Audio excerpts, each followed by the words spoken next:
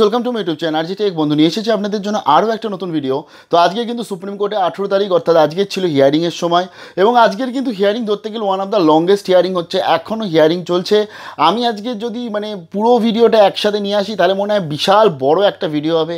কারণ আজকে স্টেট গভর্নমেন্টের অ্যাডভোকেটরা সবাই রিপ্রেজেন্ট করছে এবং সবাই হাতে হাত নিয়ে বিভিন্ন পয়েন্ট তুলছে। ইভেন আজকের মানে একটা মজার কথা বলি মানে এই কেস চলতে চলতে সুপ্রিম কোর্টে কানেকশন চলে গেছিল। তো সেই সময় হঠাৎ করে একটা স্টেট গভর্নমেন্টের অ্যাডভোকেট জেনারেল তিনি বলে ওঠেন যে, দেখছেন সুপ্রিম কোর্টে এই অবস্থা, তাহলে পরীক্ষা দিতে যাবে কি করে? তো আজকের এতে মানে খুব ভালো হিয়ারিং হচ্ছে এবং আগের দিন আমরা যে হিয়ারিং দেখেছিলাম, তার একশো গুণ বেশি হিয়ারিং হচ্ছে। তো আমি অ্যাকচুয়ালি আজকের একটা ছোটো পার্ট নিয়ে চলে এলাম। সেটা হচ্ছে এখনও যেহেতু হিয়ারিং কন্টিনিউ হচ্ছে ফাইনাল হিয়ারিং এবং ফাইনাল কি সিদ্ধান্ত সেটা তো আমি জানাচ্ছি কিছুক্ষণের মধ্যে। তো ততক্ষণ আমি এই পার্টটা দেখাতে চাই, সেটা হচ্ছে ওয়েস্ট বেঙ্গলের যিনি অ্যাডভোকেট ছিলেন, জয়দীপ স্যার, তিনি হচ্ছেন কিন্তু আজকে ওয়েস্ট বেঙ্গলের রিপ্রেজেন্ট করেছেন এবং তিনি মারাত্মক পয়েন্ট তুলে ধরেছেন। তো আমি অ্যাকচুয়ালি প্রথমে আজকে ওয়েস্ট বেঙ্গলের অ্যাডভোকেট কী ধরেছে সেটা বলে দিচ্ছি। তিনি বলেছেন যে, পশ্চিমবঙ্গে পরীক্ষা কোনো মতে সম্ভব না। ইউডিসি কোনো গ্রাউন্ড রিপোর্ট ছাড়া নিজের ইচ্ছা মতন করে পুরো জিনিসটা করেছে। ইভেন আজকে অন্যান্য অ্যাডভোকেটরা কুয়াত কমিটি টমিটিকে ধরতে গেলে চিড়ে দিয়েছে। মানে এমন মানে কিছু বাকি নেই আজকে। মানে যেই, এবং ইউজিসি মানে অ্যাকচুয়ালি এখন যে লাইভ হিয়ারিং চলছে, সেখানে ইউজিসি বলছে যে, আমি স্টেট সেন্ট্রাল এইসব পাওয়ারের কথা যেতে চাইছি না। আমি বলছি ইউজিসির কি অ্যাক্ট আছে? তো তার ফলে দেখা যাক। আশা করি একটা ভালো বিচার আসবে। এত সুন্দর, যেহেতু সবাই পয়েন্ট রাখছে, এত সুন্দর যেহেতু সবাই দলিল রাখছে। এবং স্টেট গভর্নমেন্টগুলো এত সুন্দর হাতে হাত মিলিয়েছে এবং তারা এত সুন্দরভাবে তারা জিনিসটাকে রিপ্রেজেন্ট করছে।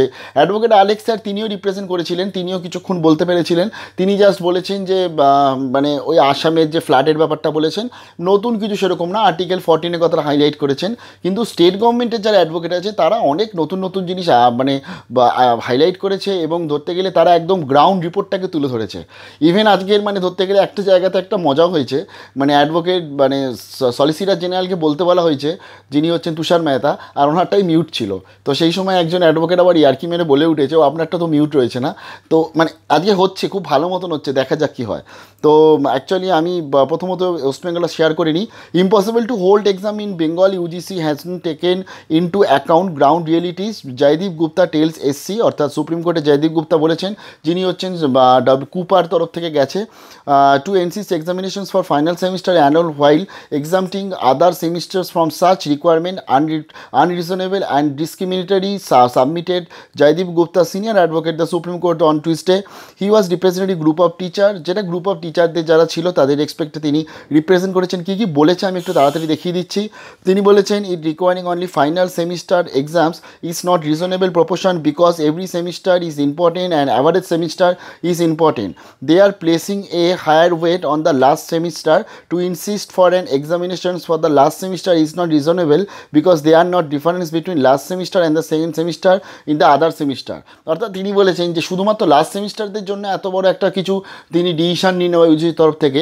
তারা ভাবছে লাস্ট সেমিস্টার যেহেতু বেরিয়ে যাচ্ছে বলে তাদের সব থেকে বেশি ইম্পর্টেন্ট কিন্তু তারা না, একটা কোর্সের মধ্যে প্রত্যেকটা সেমিস্টার ইম্পর্টেন্ট হয়। এরা হচ্ছে দুটোর মধ্যে ইকুয়ালিটি রাখছে না। ডিসক্রিমিনেট করছে লাস্ট সেমিস্টার আর একটা সেকেন্ড সেমিস্টারের স্টুডেন্টদের মধ্যে। যখন বলছি ইন্টারমিডিয়েটদের পরীক্ষা হবে না, তখন লাস্ট সেমিস্টারদের কেন পরীক্ষা হবে? কারণ ইন্টারমিডিয়েটটা যেহেতু থেকে যায় বলে তাই জন্য, তাহলে তাদের যে স্কোরটা আসবে, সেটা কী ভিত্তিতে স্কোর আসবে? কারণ এটা খুব ইম্পর্টেন্ট কথা যে, তাহলে সেকেন্ড থেকে যে থার্ড সেমিস্টারে যে স্টুডেন্টটা উঠছে, সে তো প্রিভিয়াস মার্কস হিসাবে উঠছে অ্যাকর্ডিং টু দি ইউজিসি আর তাহলে লাস্ট সেমিস্টারের স্টুডেন্টরা এই সুবিধাটা কেন পাবে না? এবং তার সাথে তিনি বলেছে যে special condition existing state of made conduct final exam impossible এবং তিনি তার বলেছে পশ্চিমবঙ্গে এখন কোনো মতে পরীক্ষা দেওয়া সম্ভব না এবং তিনি স্পেশাল সার্কামডান্সগুলো বলেছে যে মেট্রো চলছে না লোকাল ট্রেন চলছে না questions of holding exam does not arise can not be done তো তার ফলে পরীক্ষা কোনো মতে সম্ভব না, যেখানে মেট্রো চলছে না লোকাল ট্রেন চলছে না স্টুডেন্টরা পরীক্ষা দেবে কী করে? They there is also cyclone Amphan which had led many institutions are being turned into the shelters physical exams in this situation is not just impossible তিনি বলেছেন এরকম সাইক্লোন আমফান হয়েছিল, তার জন্য প্রচুর পরিমাণে ক্ষতি হয়ে গেছে এবং সেখানে ফিজিক্যাল এক্সাম কোনো মতে সম্ভব না এবং তিনি সেটা জানিয়ে দিয়েছেন যে এখানে এখন অনেকে আছে যারা সেই সব ইনস্টিটিউশন সেই সব কলেজে কিন্তু এখন শরণার্থী হিসাবে আছে। তো শরণার্থীদের সরিয়ে দিয়ে সেখানে এক্সাম দেওয়া কোনো মতে সম্ভব না। The UGC has not taken into any ground realities they have not taken into account to accessibility of students West Bengal will not be able to hold online exam because students don't have technology to give exam এবং পরিষ্কার বলে দিয়েছে, শুধুমাত্র offline exam না। Online এক্সামও পশ্চিমবঙ্গে ছাত্রছাত্রীদের দেওয়ার পক্ষে সম্ভব না। কারণ ওয়েস্ট বেঙ্গলে কিন্তু কোনো রকম অনলাইনে সাধন নেই এবং প্রত্যেকটা ছাত্রছাত্রীর কাছে সেই সাধন নেই, তার ফলে কোনো মতে এক্সামটা সম্ভব না। What they are asking us to do impossible in processing many students will be left out এবং বলছে যে আমরা ইউজিসি যেটা বলছে, যে আমাদের যেটা বলছে সেটা ইম্পসিবল জিনিস বলছে। কারণ অনেক স্টুডেন্টদের বলছে ঘর থেকে বেরিয়ে যাও, জোর করে ধরতে গেলে তাদেরকে বের করে দেওয়া হচ্ছে। এটা কোনো মতে সম্ভব না। এবং ই also return submission Arvind Datar Arvind Datar কি বলেছে আমি সব আনব পরের ভিডিওগুলোতে সিনিয়র অ্যাডভোকেট অ্যাপিয়ার মহারাষ্ট্র আলিয়ার ইউডিসি টুক সেকশন এবং সেকশন টুয়েলভ নিয়ে তিনি বা আলটিমেটলি বা বলেছে যে ইউলিটার ইউলিল্যাটারালি এটা ম্যাটার রয়েছে এবং সিনিয়র অ্যাডভোকেট জেনারেল বা ওয়েস্ট বেঙ্গল কিশোর দত্তা, যিনি অ্যাডভোকেট জেনারেল আলটিমেটলি আমাদের ওয়েস্ট বেঙ্গলে তা তিনি সাবমিট করেছেন কি the the different states can not be treated same player as every state certain বা প্রিকুলারিটিস বা further UGC has not taken into this difference অর্থাৎ ওয়েস্ট বেঙ্গলের তরফ থেকে আজকে দুজন বলেছে, একজন হচ্ছে কিশোর দত্তা বলেছে, যিনি হচ্ছেন ওয়েস্ট বেঙ্গলের অ্যাডভোকেট জেনারেল তার সাথে তো তিনি আমাদের যে ডাব্লিউ বি কুপার যে আলটিমেটলি যিনি অ্যাডভোকেট তিনিও বলেছেন। এবং সবার বক্তব্য একটাই যে, পশ্চিমবঙ্গে পরীক্ষা কোনো মতো সম্ভব না। এবং ওয়েস্ট বেঙ্গলে যদি এক্সাম হয়, তাহলে সেটা কোনো দিন ইকুয়ালিটি থাকবে না। সেটার মধ্যে UGC can not consider this to be a normal circumstances UGC এটাকে নর্মাল সার্কামটেন্সেস ভাবছে কিন্তু সেটা না। যেটা অ্যাডভোকেট জেনারেল বলেছেন they have proceed on the basis as of the uh, this is 2019 or 2018 these are exceptional circumstances. They are not concerned with public health. তো তিনি বলেছেন যে পাবলিক হেলথ সম্বন্ধে ইউজিসি তো কিছু দেখছেই না এবং আলটিমেটলি ইউজিসি এটা প্রিভিয়াস ইয়ারের সাথে গোলাচ্ছে যেটা কোনো মতো সম্ভব নয় এবং একটা পিকিউলিয়ার ডিসিশন নিচ্ছে UGC JC has not consulted with the state এবং তার সাথে বলেছে কোনো মতে ইউজিসি স্টেটদের সাথে কনসাল্ট করেনি গ্রাউন্ড রিপোর্ট জানেনি।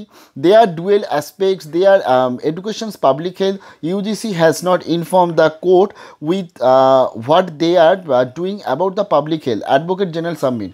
West Bengal Advocate General তিনি কি বলেছেন যে আজকের এতে ইউজিসি কোনো রকমের ডুয়েল অ্যাসপেক্ট জিনিসটাকে দেখছে না। একটা হচ্ছে পরীক্ষার, একটা হচ্ছে পাবলিক হেলথ যে দুটোর মধ্যে কোনোটাতেই ছিল না। এবং তার সাথে উড়িষ্যা বা অন্যান্য অনেক দিল্লি, তারা সবাই মোটামুটি ইউজিসিকে বিচ্ছে আমি এটা পরপর নিয়ে আসব, যেরকম যে হিয়ারিং চলছে এখনও কন্টিনিউ হচ্ছে হিয়ারিংটা আজকের অ্যাডভোকেট জেনারেল এবং তার সাথে ডাব্লিউ বি কিউপার যে অ্যাডভোকেট আছেন, তিনি আজকের খুব সুন্দরভাবে রিপ্রেজেন্ট করেছেন এবং তিনি খুব সুন্দরভাবে আমাদের এক্সামের পয়েন্টগুলো বলেছেন। বাকি পয়েন্টগুলো নিয়ে খুব তাড়াতাড়ি নেক্সট ভিডিও আসছি এবং আমি জানি আপনাদের টেনশন হচ্ছে, ওই জন্য আমি একটা একটা করে দিতে চেষ্টা করছি। আর আশা করি আজকের ফাইনাল কিছু হয়ে যাবে। কারণ আজকে সবাই বক্তব্য রাখছে। প্রত্যেকটা স্টেট গভর্নমেন্ট বক্তব্য রাখছে, প্রত্যেকটা যারা কেস করেছিল তারা বক্তব্য রাখছে ইভেন এখন ইউডিসি তার বক্তব্য রাখছে। তো দেখা যাক কী হবে, আমরা জানি, আমরা জিতবো। হোক কলরব, মনে বিশ্বাস রাখতে হবে।